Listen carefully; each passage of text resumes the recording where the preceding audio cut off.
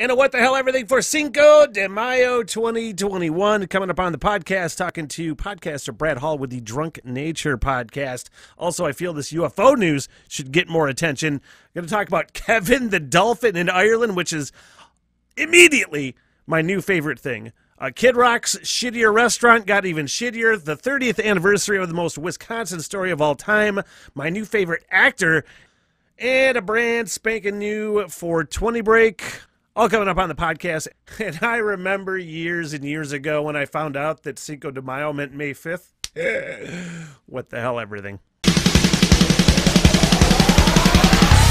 What the hell, everything? Welcome to the What the Hell Everything podcast. My name is Smitty.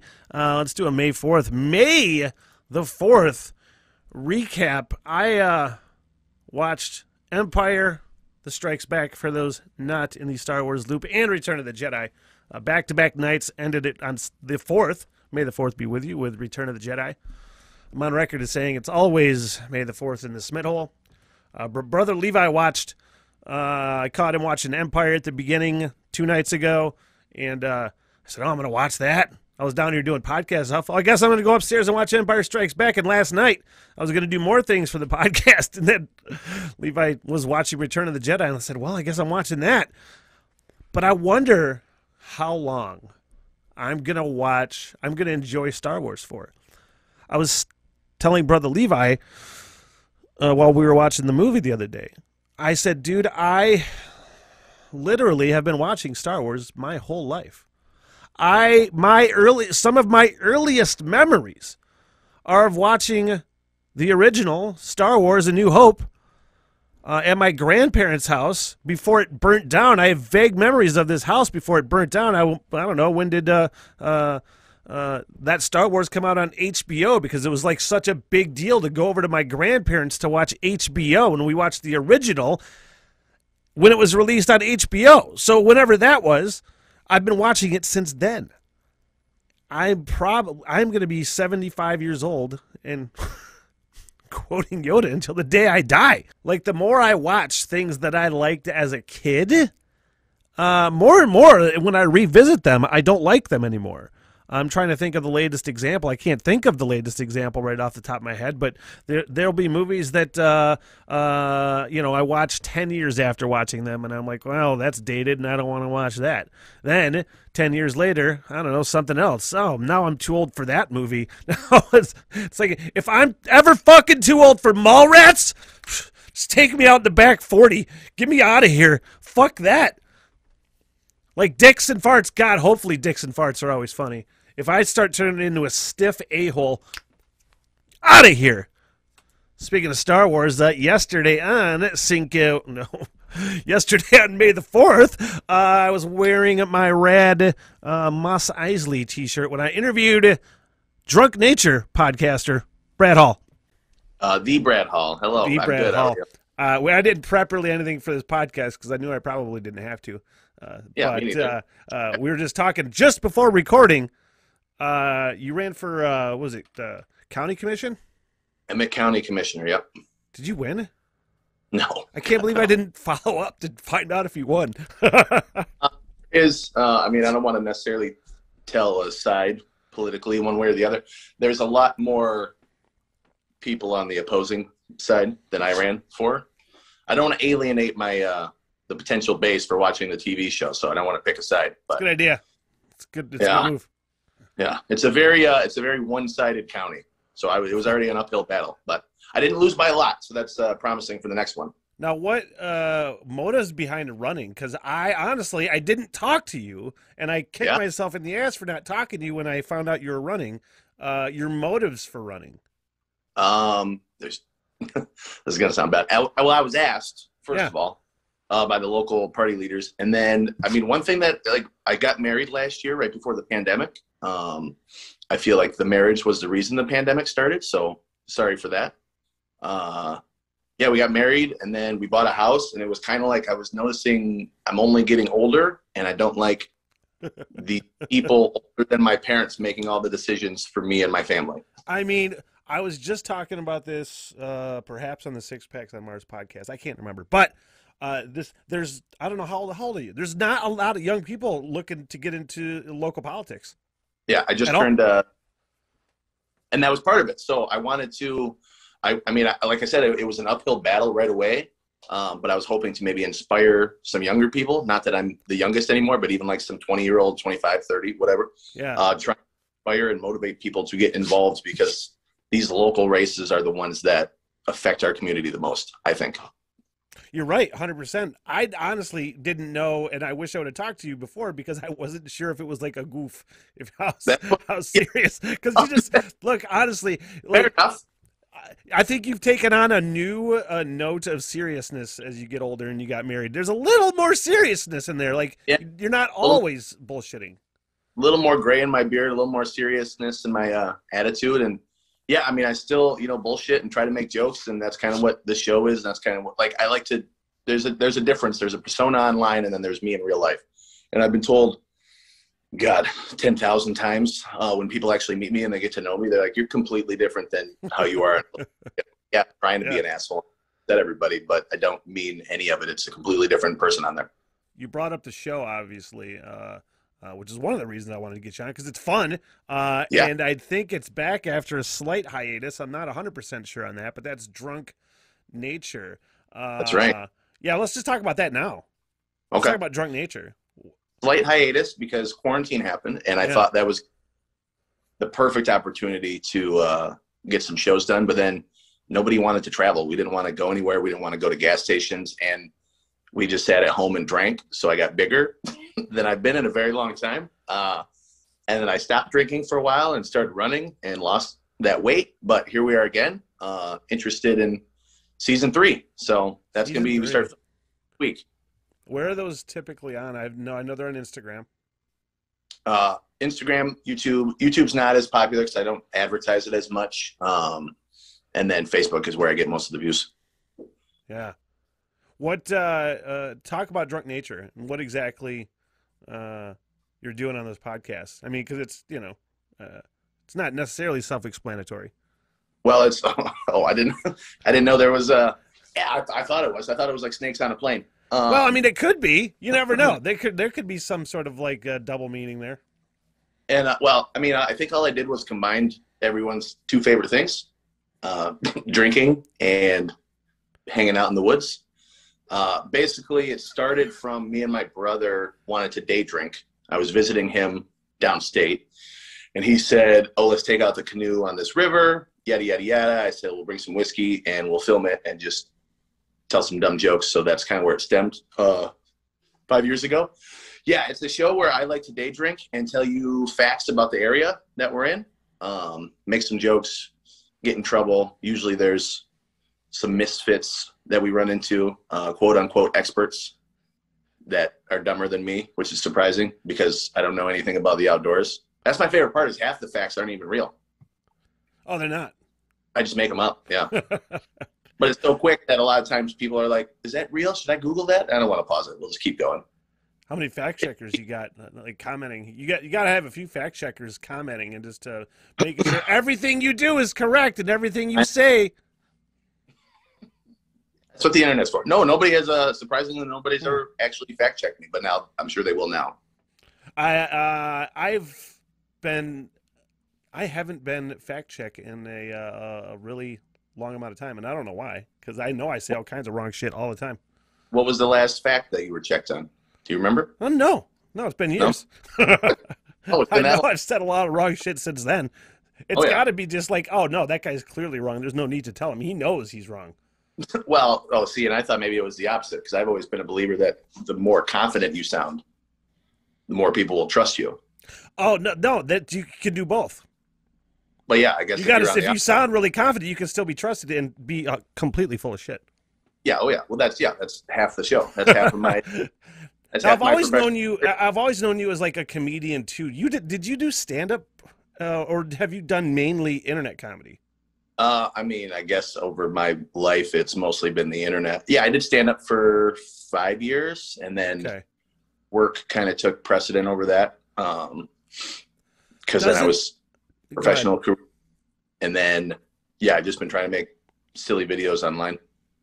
Doesn't just the ability to just ha- do any fucking thing you want on the internet is the coolest shit in the world. Oh, I had this idea. Uh, let's do that and to see how it works. You know what I mean?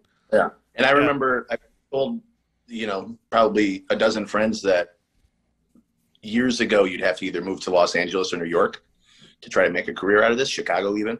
Yeah. Uh, but the internet, you can get noticed literally anywhere. I uh there's I don't get the questions as much as I get the vibe from people. And I'm not talking about recently when I really started taking this podcast seriously, seriously. But ever since I started doing podcasts in general, there's always this sort of vibe from some people where it's just like really like a podcast, sure.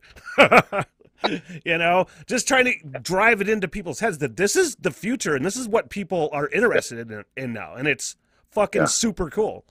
Yeah. And I mean, that's the, I'm sure there was a stigma more so when it first started years ago. Um, you know, what the hell's a podcast? That's probably like, what the hell's cryptocurrency? Now everyone's kicking themselves in the ass. Dude, I don't know. Have you figured that out? Because I haven't figured anything out. I don't. I, honestly, I, like I've tried to have people explain it to me. I'm like, it'll never. Yeah, but here we are losing money by not investing. How am I losing money if I didn't have it to begin well, with? I mean, like, you're not making money.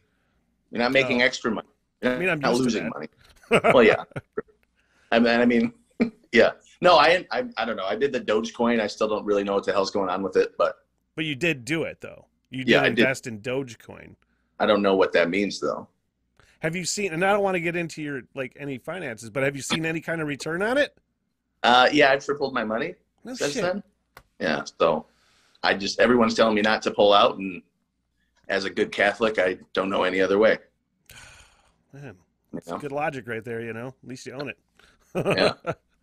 Have you? I was thinking uh, uh, the other day that you know I have no clue how many people just in this region of northern Michigan that are trying to do the same kinds of things that you know you and I are doing, which is just uh, successful internet shows.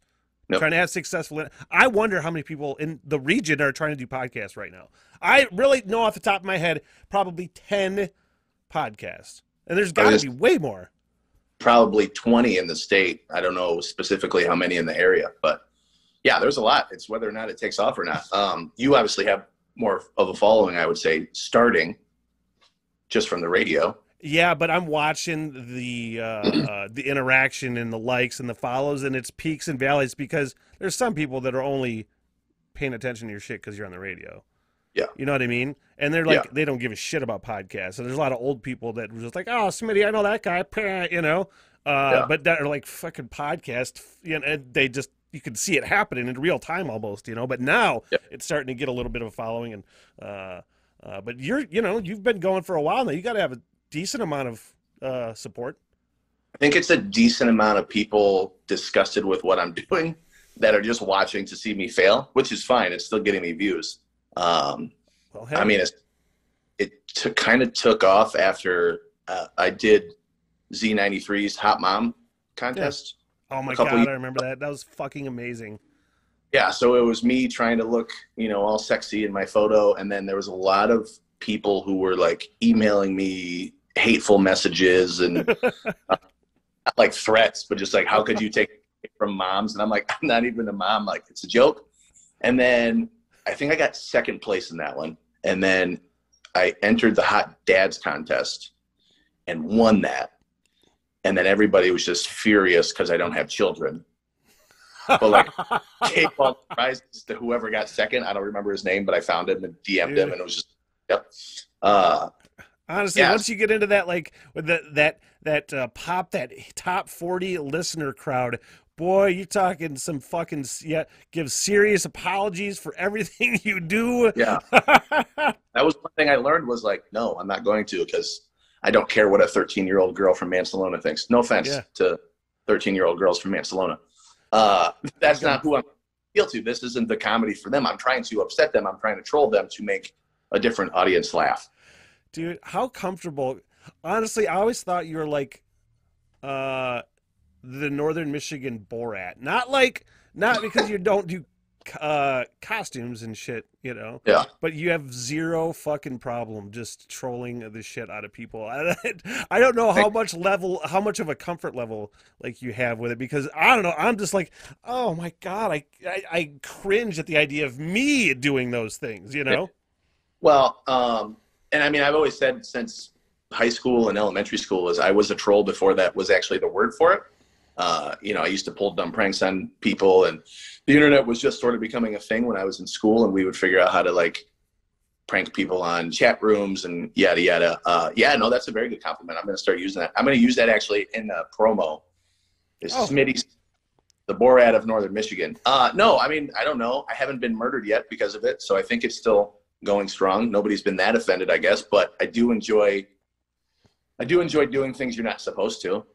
Yeah, there is a lot of free. There is a lot, a lot of fun to doing yeah. things and saying things that you know is gonna. I always went with the philosophy as far as like my on-air presentation when I was doing radio, and even now on the podcast. Even though I have a lot more freedom to say what I want to say, uh, uh, I still uh, have this thing where I don't ever want to offend people.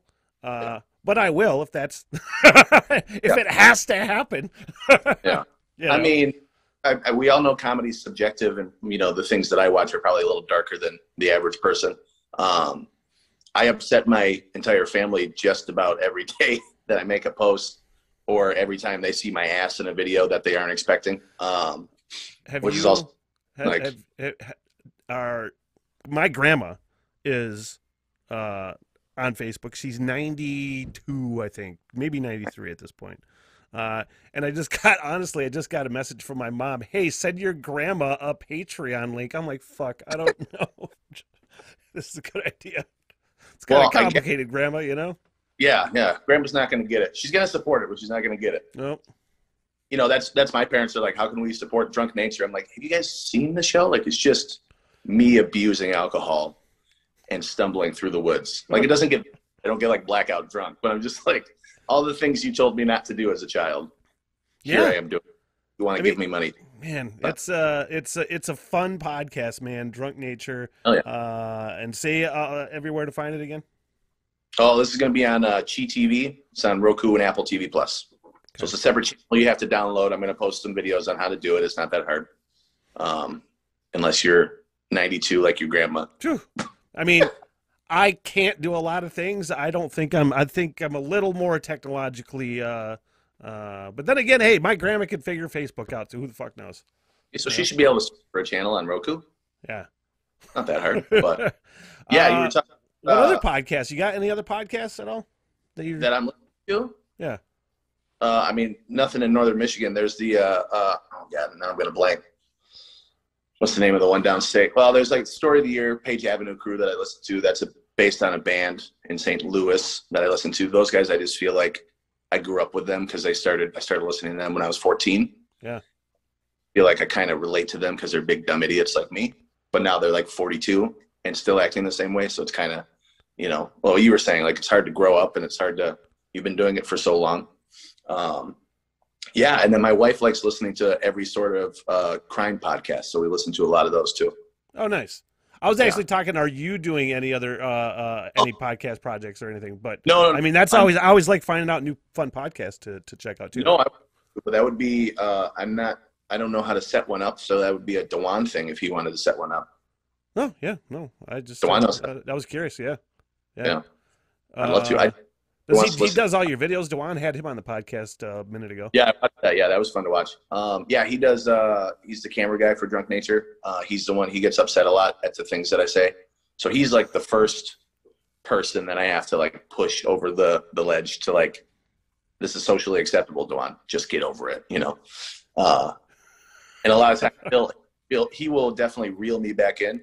Um, some of them, and uh, but yeah, he does all the he does all the videos. Him and I will edit the whole season. Um, he does a lot more of the effects and stuff, and I'm going to do just the basic yeah. storyline, visual effects for it. So you got to have those moral. You got to have those moral compasses, man.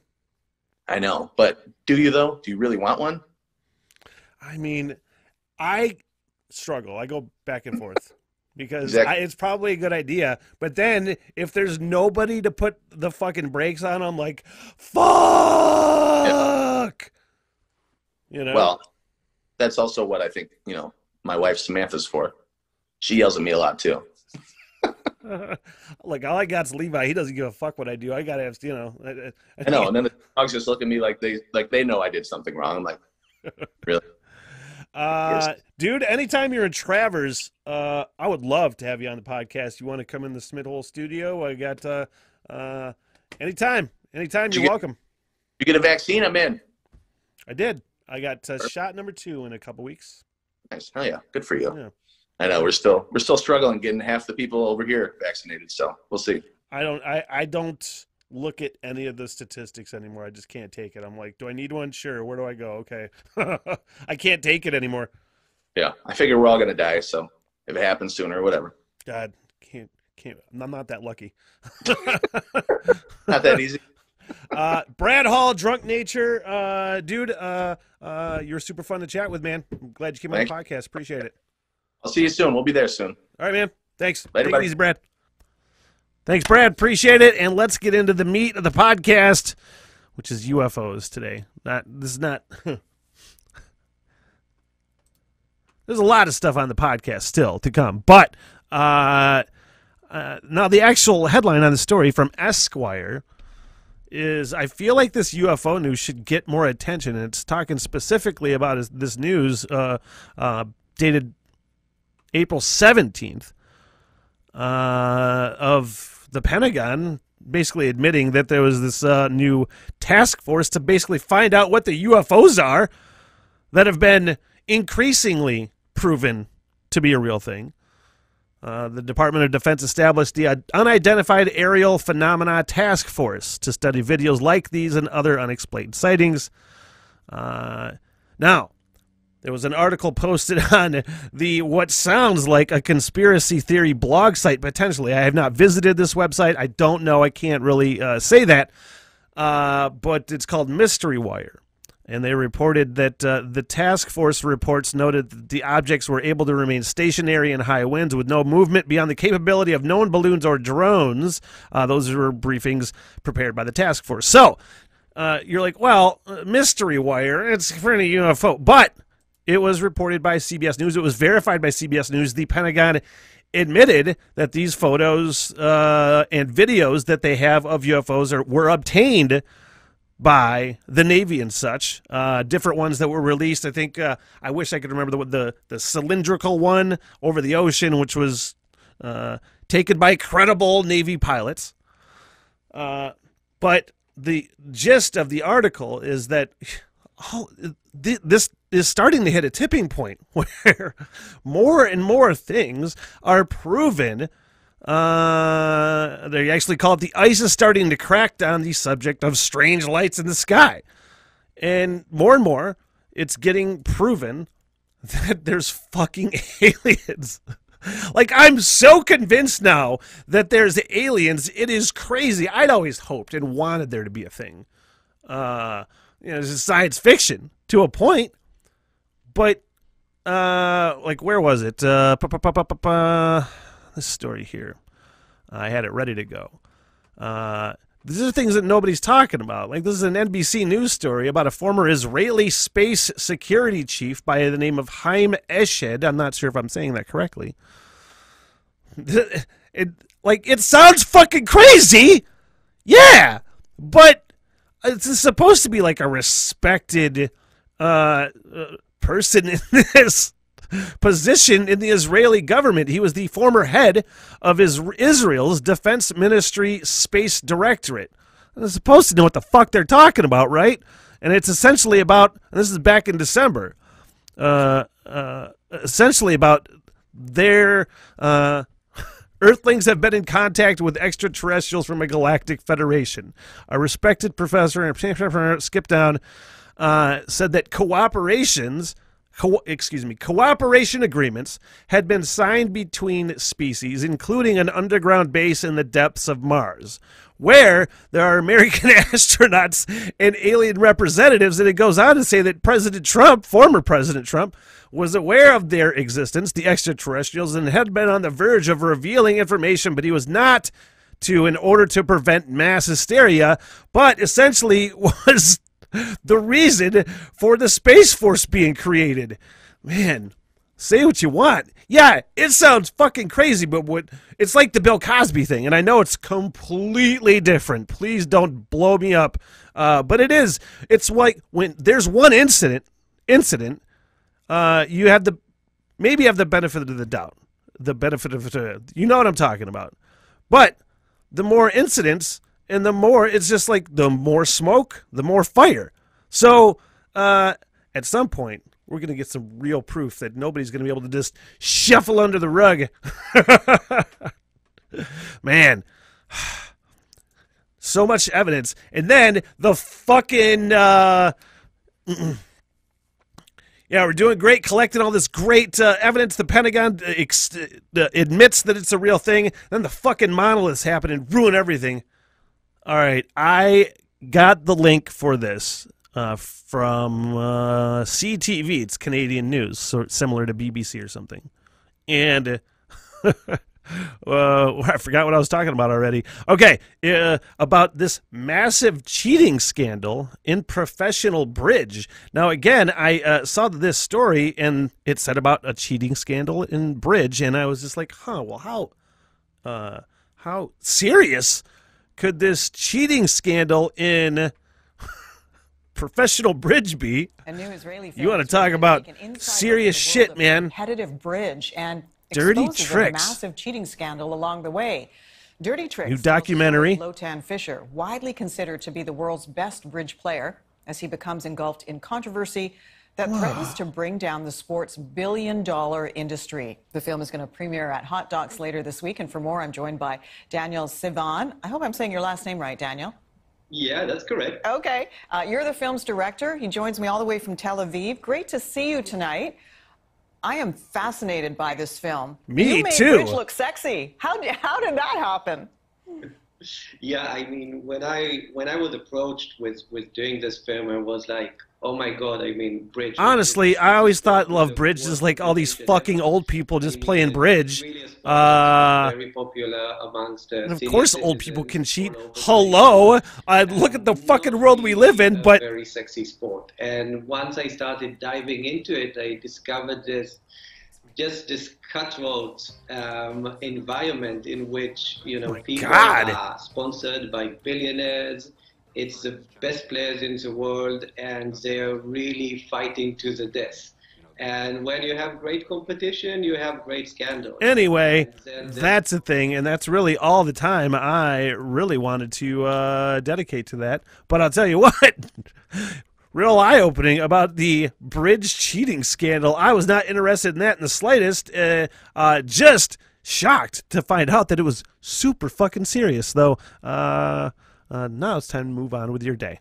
Don't turn off the podcast yet, though. Got a 420 break coming up. Uh, I look. I, this is a rhetorical question, but can somebody tell me why Domino's decided to bring the Noid back? I don't know if you remember the Noid. Uh, is the worst. It is the worst. Like commercial company mascot or anything ever. Is the most annoying. Like I don't know, Noid.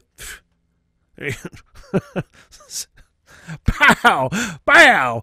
Bow! Uh, I saw this shit watching the draft with Brother Levi, and let's just take a look at the new Noid. I don't know if you remember, but when I tell you it's the worst thing of all time, tis the worst thing of all time. We're constantly innovating to find better ways to deliver you pizza, which is why we're testing driverless. I bet it's been. I don't and it's got even remember the last time I had Domino's. Ew! Oh man, every time I hope he gets electrocuted and dies. He always does, he always come back. Fucking Noid. Avoid I'm a fucking get at the Noid. Avoid the fucking delivered For just $5.99 each. Ew, that's man. I hate how catchy it is too. I hate the Noid. I don't. Uh, I don't want it to be a thing anymore.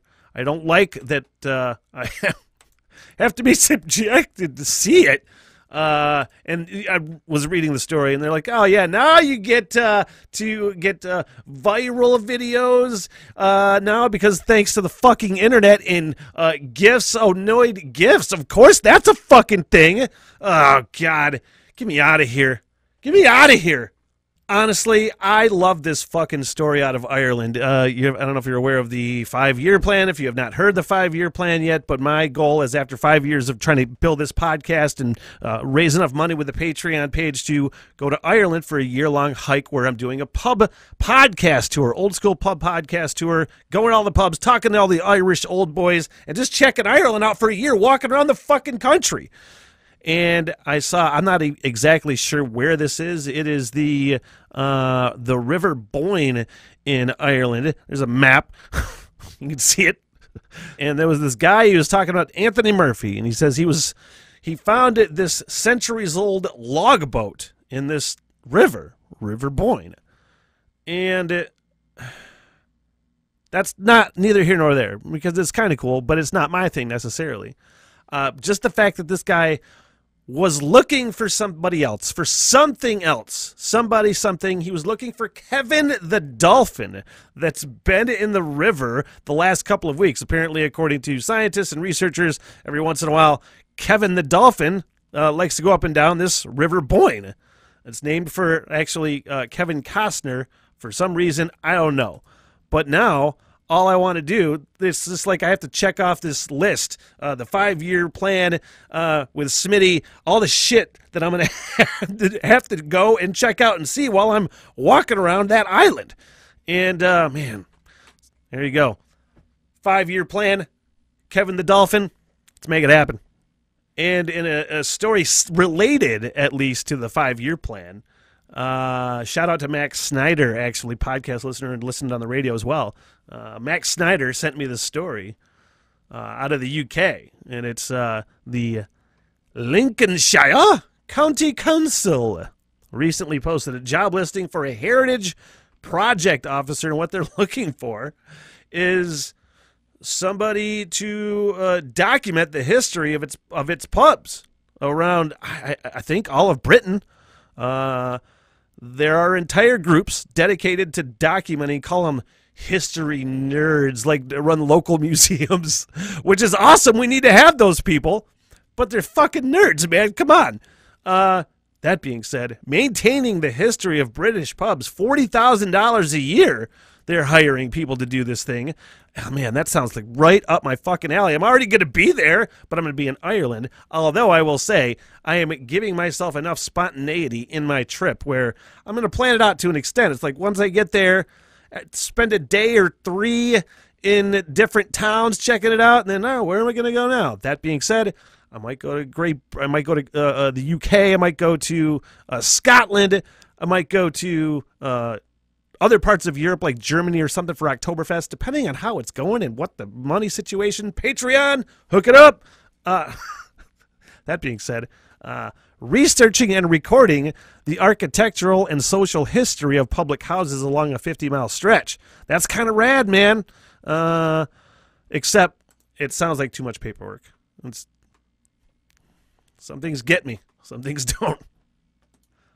Too much paperwork. You just lose me at reading. Fuck. It's one of those things. I don't want to talk about this, but I have to talk about this, you know? I don't especially now that I'm in, not in fucking radio anymore. Uh, I'd never have to ever listen to a Kid Rock song uh, ever again. Really, if I don't want to. If it's on as background, I'll do my best to get out of that situation, but you know what I'm talking about. But I have to talk about this at Kid Rock's bar in Nashville. Uh, it's really just fucking perfect. There was somebody, uh, I mean, there's all kinds of poop and shit references and uh, double entendres in this fucking story where a guy removed his colostomy bag and flung shit all over the place. Uh, according to the Nashville Scanner, and side note, I fucking love the uh, the Facebook pages and Twitter pages that simply repost uh, scanner stuff that's coming in, like in that community, I think that's either A, awesome, it works really well uh, in keeping citizens informed, or B, a lot of times it's fucking hilarious, like in this case, the Nashville scanner. Male took off his colostomy bag. I don't know why it's a fucking old timey voice. Male took off his colostomy bag and started swinging it at others. Some units have feces on them. This is this is the third time I've heard this colostomy bag guy past two nights. Ew. Uh, first of all, uh, I don't know if it was inside or outside uh, at the bar. I have no clue. All I just know is anytime you can make shit jokes about uh, anything related to Kid Rock, A, it works, and B, uh, duh. Uh, from one shitty story to another, story out of Wisconsin. Now, I've avoided any, avoided any Wisconsin stories, and there hasn't been any uh, worth a fuck because I've just been holding out for the hope that Aaron Rodgers leaves Green Bay. And oh my God, I'm trying not to like talk about it too much and fucking jinx it though.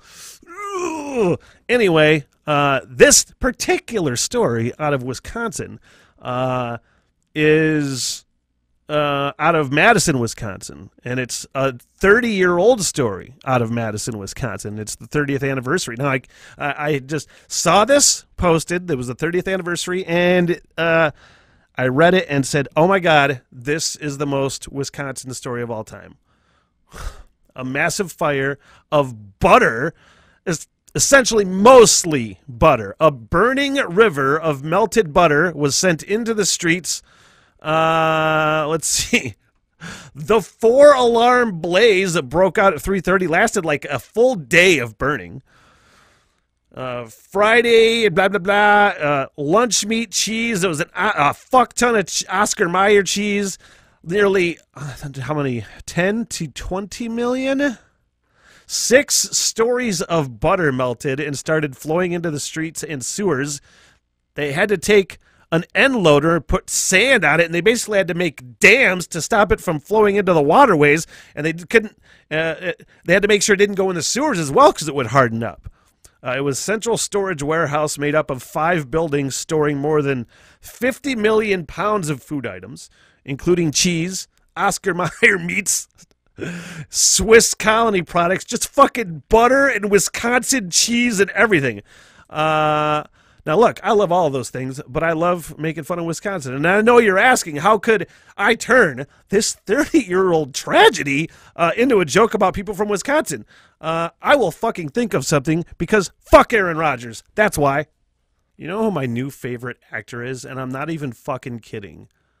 Jean Smart and I'm not sure how many people know who Jean Smart is. I only knew of Jean Smart from uh, designing women from the 80s with uh, Annie Potts and Dixie Carter. Was that it? Uh, I can't remember who else was in that show. Anyway, uh, Jean Smart. And I hadn't seen anything of her in years, and for all I knew, she wasn't fucking doing anything. And then, oh man, what the hell was it that uh, uh, I got her IMDb page up actually. Uh, she was in. Oh man, she was in. Uh, there it is. There it is. There it is. The Accountant with Ben Affleck. And I remember thinking when I watched it, which was a really good movie, The Accountant. I remember thinking, God, she, that's Jean Smart. She's fucking awesome in this movie.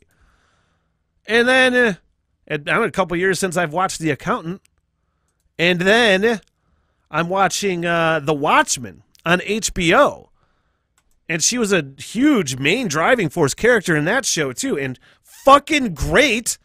And actually, I'm just gonna play this. Uh, let's play this clip of this trailer of the new HBO. I think it's a series uh, on HBO Max. Uh, it's called Hacks, right? She's like an aging comedian. Uh, so she was on Watchmen and awesome. And she's on the new Mayors of Easttown with uh, Kate Winslet, which looks really good too. And I'm watching this trailer, and I'm thinking to myself, oh, this is a total chick flick, and I don't give a fuck. what is that? What does that matter if I like to watch fucking chick flicks anyway?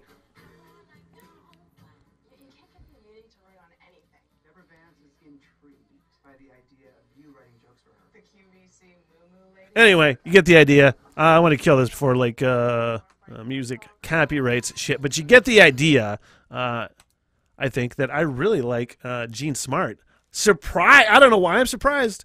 Uh, just all of a sudden, out of nowhere, uh, Jean Smart goes from designing women to some of the best fucking TVs and movies I've seen in a long time. I can't believe I had to be convinced that momfluencer was a real term.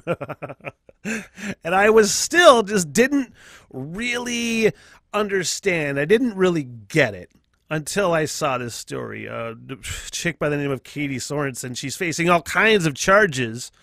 Uh, six months in jail. Uh, faces two. Well, when I say all kinds of charges, I could have read the story. Two misdemeanor counts said that uh, a Latino couple had tried to steal her kids, so she's racist on top of uh, stupid.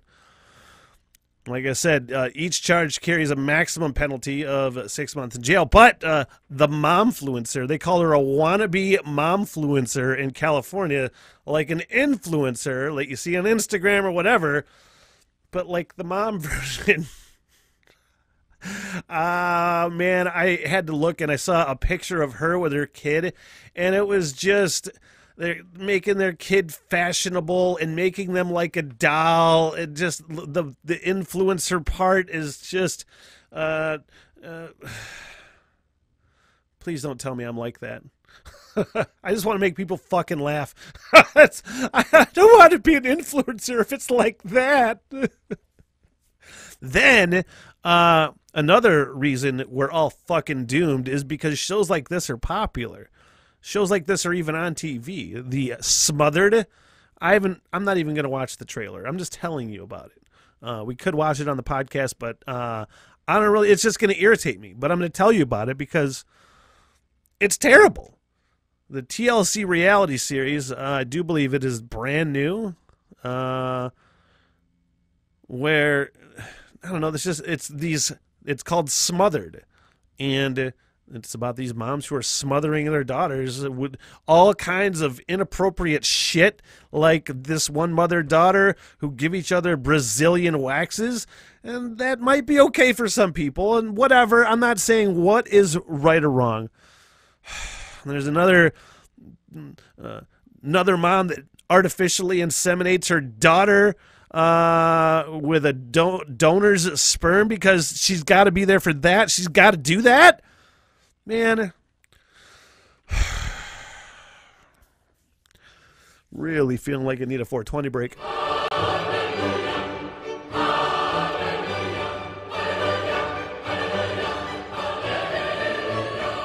Should I be getting paid for this, boys? Water bomb so smooth, you don't realize how high you're getting till it's too late. I am fucked up out here. I just saw that whatever Duggar fuckface got arrested for what I assumed was for something self righteous and horrible, and yep, called it. Remember when George Carlin talked about child worship? And I'm not talking about loving your kids or the natural inclination to have children, but take a look around. And what's the right amount of kids? I don't know. I come from a family of four, and I can tell you that no matter how much I love my family, it was probably too fucking many. Our obsession with kids is just gross. And have you ever thought about how fucking absurd the idea of a family legacy is? I'm not talking about not being proud of something your dad or your grandfather accomplished or did, but the very idea that you have to live up to something an ancestor did or even a father a family legacy is only awesome if your family did awesome things. If your family's all methed out in the generationally owned trailer park, lots of times that's a legacy you'd like to leave behind. Or maybe your ancestors were taken from and or had their legacy wiped out over the course of thousands of years. Then what's a legacy? Like all the Duggar's kids are probably going to be like, my dad's famous for having a reality show because he had a bunch of fucking kids. That's it. That's all he did. I guess I too will have a bunch of fucking kids and further push our civilization to the brink via mass consumption too. I mean, I know Idiocracy isn't technically a documentary, but just take a look. They called it. It's not necessarily the religious aspect, trust me. That's for another rant and another podcast. But come on, stop being fruitful and multiplying. You're watering down the market. What the fuck do you mean, watering down the market? Like, I'm sorry, I've never cared about the name. or legacy of the family. Maybe it's just because there's just so many fucking Smith, it just feels pointless and watered down. I say it all the time mediocre Smiths. I almost named the podcast that, but I'm trying to get away from the whole too much self deprecating thing. Because I'm good enough, smart enough, and god damn it, people like me. Anyway, stop fucking. That's your 420 break, and now you feel normal.